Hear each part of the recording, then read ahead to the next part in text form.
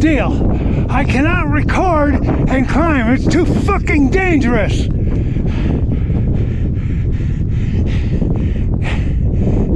Heart in my throat. Holy shit.